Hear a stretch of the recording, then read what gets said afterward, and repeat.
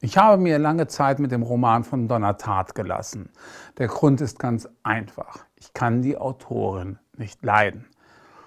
Vor zehn Jahren habe ich sie in New York interviewt, als der kleine Freund erschien. Und sie hat sich wie eine Diva verhalten. Das Gespräch verlief noch in relativ ruhigen Bahnen. Dann wollten wir noch die üblichen Schnittbilder drehen. Und das Gezicke nahm seinen Lauf das dürften wir nicht tun und dieses dürften wir nicht tun und wir bekämen auch nur 15 Minuten Zeit. Von links durften wir sie nicht drehen und auch nicht mit Zigarette. Außerdem wäre ich unfreundlich und würde sie nicht ernst nehmen. Das war doch eine Spur zu viel Theater und ich habe die Dreharbeiten einfach abgebrochen. Ich glaube nicht, dass wir jemals Freunde werden. Zudem hat mich misstrauisch gemacht, dass das neue Buch über den grünen Klee gelobt wurde. Dieses Buch lässt keinen kalt. Donatards Roman Der Distelfink zeigt eine große Erzählerin, die so spannend wie eine Frille-Autorin schreibt. FAZ.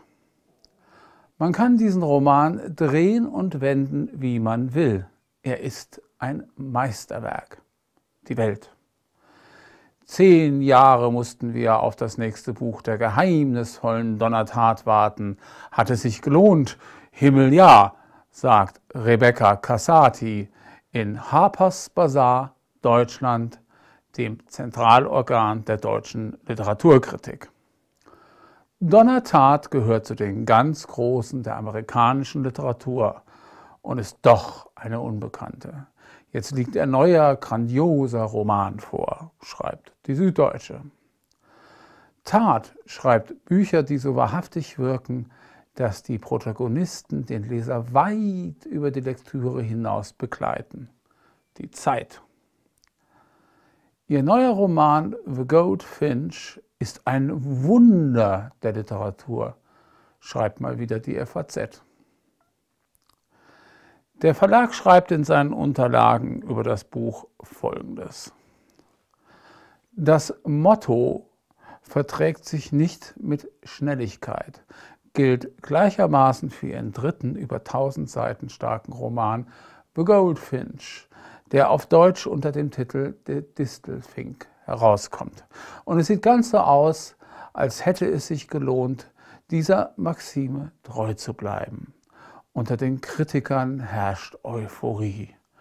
Der Distelfink ist eine Seltenheit, wie sie pro Jahrzehnt vielleicht fünf, sechs Mal erscheint. Ein intelligent geschriebener literarischer Roman, der das Herz genauso anspricht wie den Verstand. Freut sich Stephen King. Ich mag's gar nicht glauben.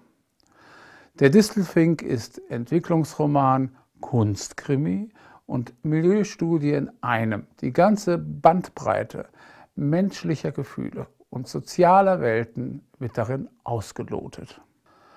Angesiedelt in New York, Las Vegas und Amsterdam erzählt der Roman über eine Zeitspanne von zehn Jahren die Geschichte des 13-jährigen Theo Decker, der seine Mutter Audrey bei einem terroristischen Anschlag auf das Metropolitan Museum of Art verliert.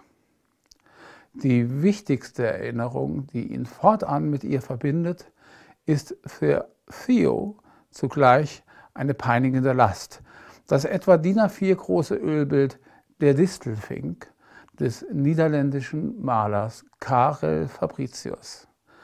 Ein Gemälde von unschätzbarem Wert, das zu den Lieblingsbildern seiner kunstsinnigen Mutter gehört. Der Junge bekommt es in den Wirren unmittelbar nach der Bombenexplosion und trägt das Kleinod im Geheimen mit sich, wohin auch immer es ihn in den darauffolgenden Jahren verschlägt. Ich sage zu diesem Buch, wenn es um den eigentlichen Plot geht, die Suche nach dem ominösen Gemälde, das ihm bei dem Anschlag anvertraut und später entwendet wurde, dann steige ich einfach aus.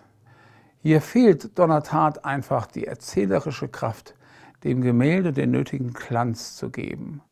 Und sie gleitet in nahezu absurde Kapriolen ab. Wenn es um Kunst, Besitz und Fälschung geht, empfehle ich stattdessen William Geddes Roman Die Fälschung der Welt. Deshalb fällt mein Fazit folgendermaßen aus. Eine farblose Hauptfigur ohne eigenen Willen wird uns vorgeführt und das Ende wird mal schnell mit einer dicken Schicht Pathos übergossen. Auch die intellektuell blumige Ausdrucksweise der Autorin konnte mich nicht wirklich überzeugen. Das ist sehr schade.